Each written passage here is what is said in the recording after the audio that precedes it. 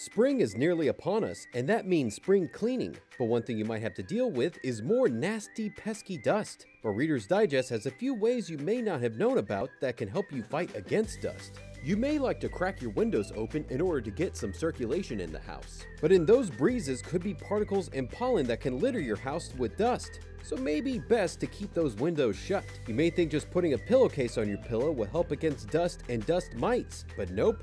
It's recommended you wash your pillow with hot water at least three times a year. A few others are if you have hardwood floors to mop them often, beat your rugs outside, and maybe have a no shoe rule in the house. Bob Vila also has another one. Clean your plants by using a microfiber cloth because not only is it good for you, but good for them because a layer of dust left on a plant can make it hard for sunlight absorption. So be a good plant parent and take care of them as well as the rest of your house.